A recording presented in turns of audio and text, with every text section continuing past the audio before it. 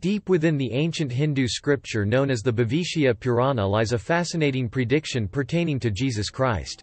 The very name of this scripture, Bhavishya Purana, holds significant meaning, as Bhavishya signifies future, while Purana translates to history.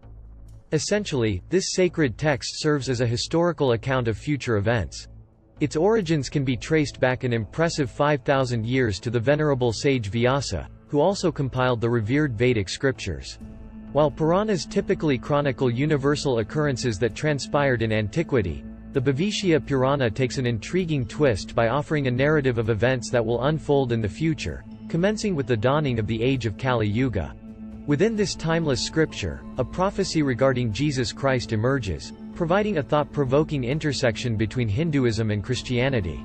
The Bhavishya Purana, being a reservoir of ancient wisdom, contains this captivating glimpse into the future, showcasing its profound insights. Text 17-21. Ruling over the Aryans was a king called Salavahana, the grandson of Vikramaditya, who occupied the throne of his father. He defeated the Shakas who were very difficult to subdue, the Chinas, the people from Titiri and Bahakaus who could assume any form at will. He also defeated the people from Rome and the descendants of Kuru, who were deceitful and wicked. He punished them severely and took their wealth. Salavahana thus established the boundaries dividing the separate countries of the Malechas and the Aryans. In this way Sindusthan came to be known as the greatest country. That personality appointed the abode of the Malechas beyond the Sindhu River and to the west. Text 22. Once upon a time the subduer of the Sakas went towards Hematunga and in the middle of the Huna country, Hunadesh, the area near Manasa Sarovara or Kailash mountain in western Tibet. The powerful king saw an auspicious man who was living on a mountain. The man's complexion was golden and his clothes were white. Text 23. The king asked, Who are you sir? You should know that I am Isha Putra, the son of God. He replied blissfully, and, am born of a virgin. Text 24. I am the expounder of the religion of the Malechas and I strictly adhere to the absolute truth. Hearing this the king inquired, What are religious principles according to you opinion? Texts 25 to 26.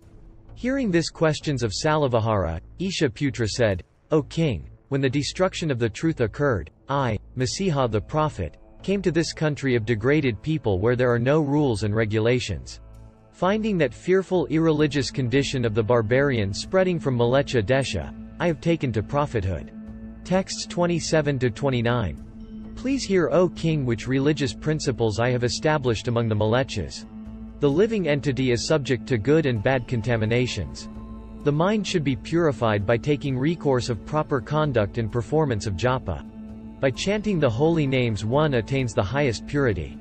Just as the immovable sun attracts, from all directions, the elements of all living beings, the Lord of the solar region, who is fixed and all-attractive, attracts the hearts of all living creatures. Thus by following rules, speaking truthful words, by mental harmony and by meditation, O descendant of Manu, one should worship that immovable Lord. Text 30. Having placed the eternally pure and auspicious form of the Supreme Lord in my heart, O protector of the earth planet, I preached these principles through the Malecha's own faith and thus my name became, Isha Masiha, Jesus the Messiah. Text 31. After hearing these words and paying obeisances to that person who is worshipped by the wicked, the king humbly requested him to stay there in the dreadful land of Malechas. Text 32. King Salavahana, after leaving his kingdom performed an Asvamedha yajna and after ruling for 60 years, went to heaven. Now please hear what happened when the king went to Svargaloka. Thus ends the second chapter entitled, The Age of Salavahana, of the story of Kali Yuga of the Katorayuga Kanda also called Pratisarga Parva of the wonderful Bhavishya Maha Purana.